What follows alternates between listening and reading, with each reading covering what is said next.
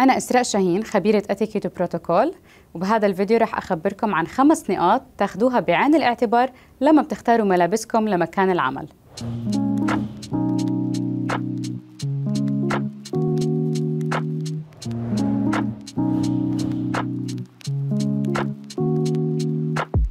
مدى رسمية الملابس تعتمد على القطاع اللي بنشتغل فيه. يعني الناس اللي بيشتغلوا في القطاع المصرفي مثلا أو القطاع الحكومي بتكون ملابسهم على قدر عالي من الرسمية. وبهاي الحالة بالنسبة للرجال بيلتزموا بارتداء البدلة وبتكون بالألوان الحيادية عادة. أما السيدات ممكن يلتزموا بأنهم يلبسوا الطقم يلي بيتكون من قطعتين سواء كان جاكيت وتنورة أو الجاكيت والبنطلون. وأكيد بالنسبة للتنورة مفروض تكون على القليلة مغطية الركبة. بالنسبة للأحذية للسيدات لازم يكون الحذاء مغلق من الأمام وبالنسبة للكعب ما يتعدى 7 سنتيمتر وأكيد ما يكون مزعج ونحن عم نمشي.